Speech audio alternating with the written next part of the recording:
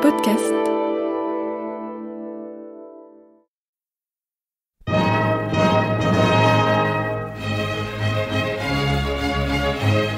Bon baiser de partout.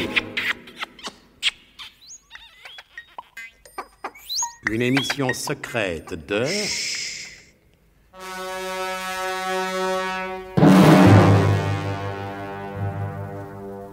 Donc, le Comité central suprême de sécurité a entendu le colonel Hubert de Guerlas et il lui a renouvelé sa confiance, à condition bien entendu qu'il retrouve dans les plus brefs délais la trace de l'énigmatique M. Maurice.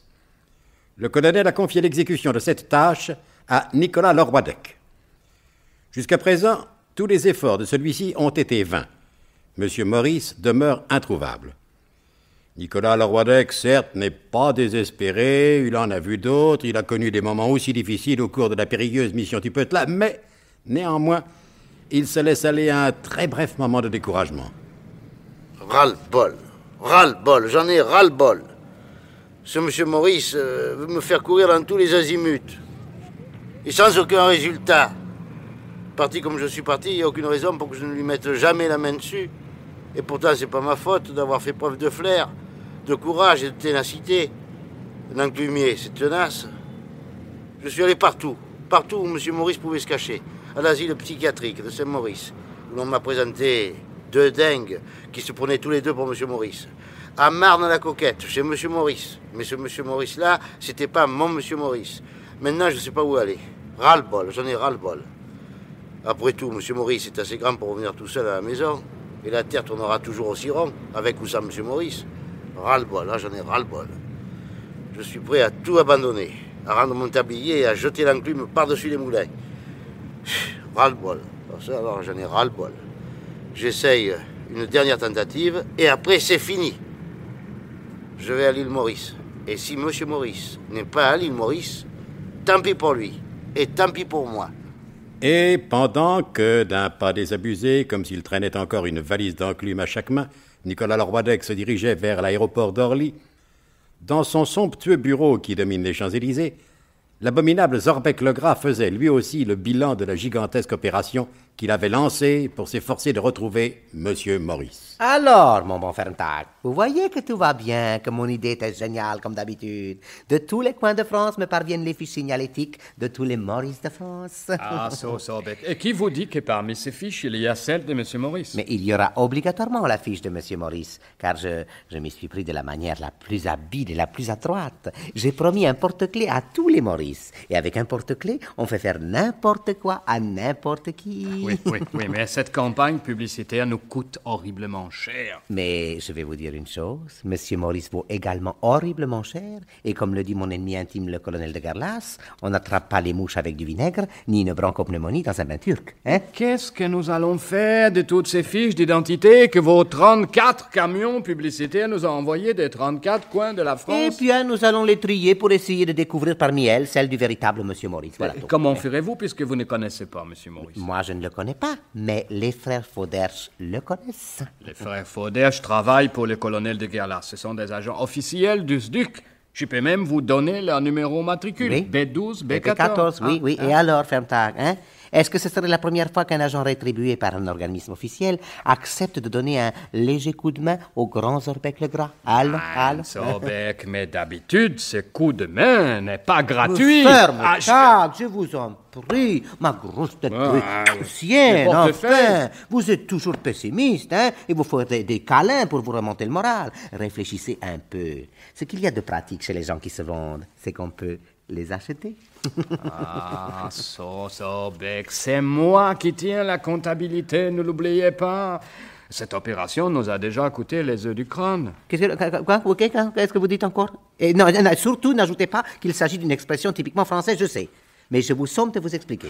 Ah, les... ah oui, Zorbeck, oui, oh, oh, je me suis encore trompé, je l'ai mis au masculin, c'est au féminin qu'il fallait le mettre. Oui, mais ça. euh, pas- poursuivez votre démonstration, je comprends toujours pas. Allez-y, allez-y. Oui, vas-y, j'ai dit les œufs du crâne, il fallait dire les œufs de la tête. euh, c'est une opération qui va vous coûter les œufs de la tête. Mais c'est vous qui avez une tête d'œuf. Une tête d'œuf toute pourrie à l'intérieur. Vous pensez toujours au prix. Vous pensez jamais au résultat. Ah, Zorbeck, les prix, c'est aussi un résultat. J'ai l'impression qu'avec les frères Faudèche, vous allez payer les prix forts et pour aucun résultat. Ferme, alors, ferme ta taisez-vous maintenant, vous ne dites que des bêtises. Hmm? Passez-moi plutôt la statistique. Voilà. Combien avons-nous distribué de porte-clés jusqu'à ce jour? Je vous écoute. 728 835 et nous n'avons pas encore les résultats de la Corse. Oui, ça, de toute manière, en Corse, les résultats sont toujours contestés. Commençons par examiner soigneusement ces 728 835 fiches. Et euh, par où faut-il commencer, Zorbeck? Mais par la première, ça me semble tout indiqué. Mais en vertu du principe de Schmullenstrauss, qui établit que tout ce qui suit n'a de valeur que par ce qu'il précède, rejoignons Nicolas Lorwadec dans le vol Air France PMU 75 à destination de l'île Maurice. Mollement étendu dans son fauteuil moelleux, l'agent inter 1829, après qu'il eut reçu la permission de desserrer sa ceinture et de fumer une cigarette, se prit à soliloquer des grands Augustins, naturellement, comme dirait le colonel de Guerlas. Voyez un peu que je révise mes connaissances euh, géographiques. Alors, d'après Pierre Sabag et Pierre Bellemare, si j'en crois les derniers lauréats des jeux télévisés, l'île Maurice doit se trouver dans l'océan Indien. Ah, mais tiens, oh, justement, il y a là un petit dépliant à l'usage des touristes, qui va devenir, pour la circonstance, à l'usage d'un enclumier devenu agent secret. Voyons voir. Île Maurice dans l'océan Indien.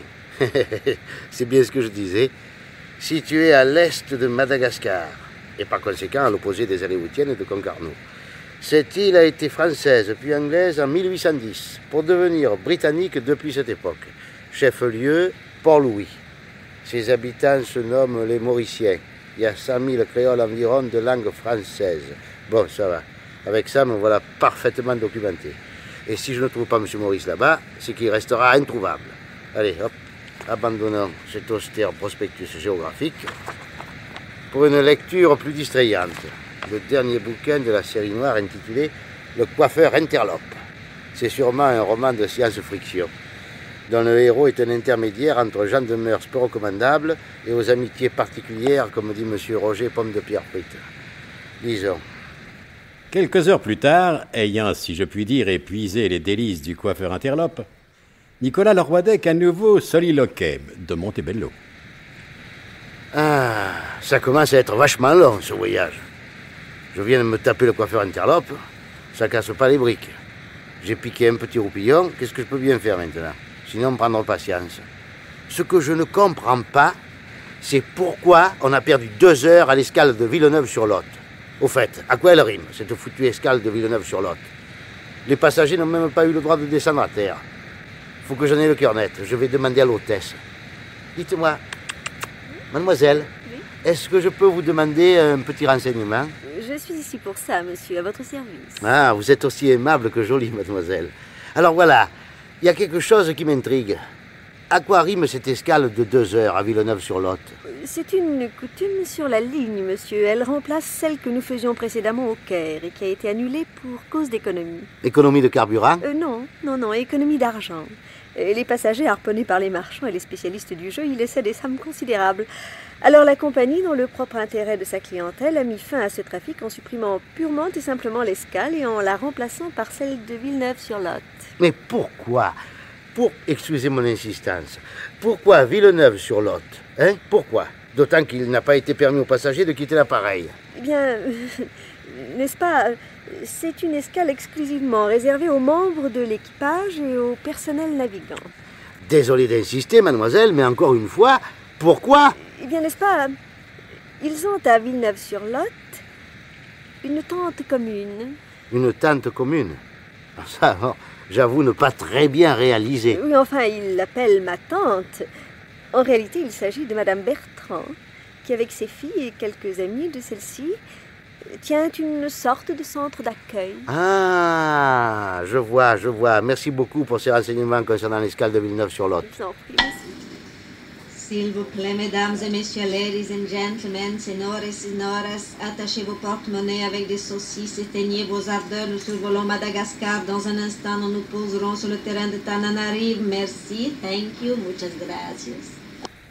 Et comme il vient de l'être annoncé, quelques instants plus tard, car plus tôt eût été difficilement concevable, le vol d'Air France PMU 75 se posait impeccablement sur le terrain de Tanarian à. Non, pardon, de Tananarive.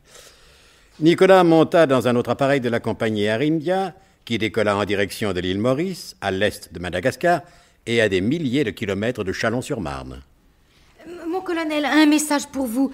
C'est de le roi Deck. Ah Et que dit-il, ce le roi Deck? Euh, Il dit comme ça les Malgaches ne sont pas loin du terrain de golf. Ah, ah, très intéressant. Et où a été posté ce message? Euh, À Villeneuve-sur-Lot, mon colonel. Euh, vous, comprenez ce que ça veut dire? Oui, mademoiselle Troscott. Il s'agit d'une phrase codée.